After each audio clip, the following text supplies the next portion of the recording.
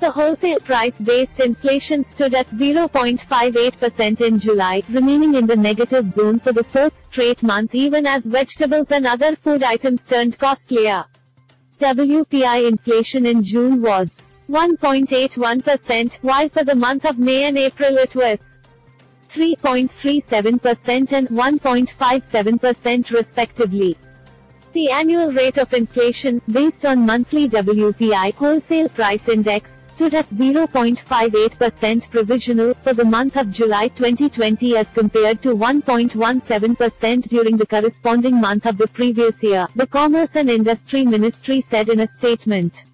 Inflation in food articles was at a four-month high level of 4.08% in July, mainly due to sharp rise in vegetable prices. Inflation in vegetables stood at 8.20% against 9.21% in June. Pulses saw inflation of 10.24%, while for potato it was 69.07% in July. Protein-rich items like egg, meat and fish saw hardening of prices with inflation at 5.27%. However, onion prices softened and inflation fell 25.56%, while in fruits it was 3.03%. Inflation in fuel and power basket fell 9.84% in July compared to 13.60% drop in the previous month. Manufactured products, however, witnessed inflation of 0.51% in July against 0.08% in June. ICRA principal economist Aditi Nayar said the considerable narrowing in the WPI disinflation in July 2020 relative to the previous month was along expected lines, with a correction in the index levels for crude oil and mineral oils, further narrowing of the core disinflation and a rise in food inflation.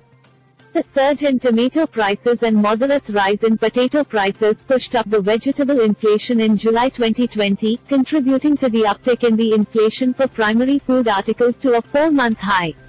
While the inflation for pulses remained steady in double digits, cereal inflation eased appreciably to a mild 0.75% in July 2020, offering a modicum of relief, Nayar said. The RBI in its policy review last week kept interest rates unchanged and said it sees an upside risk to inflation. The Apex Bank projected retail inflation to moderate in October to March period. Retail inflation was 6.93% in July against 6.23% in June. Overall, we expect WPI to print in a disinflation of 0.8 to 1.0% in free 2021, driven by the correction in prices of various commodities other than gold.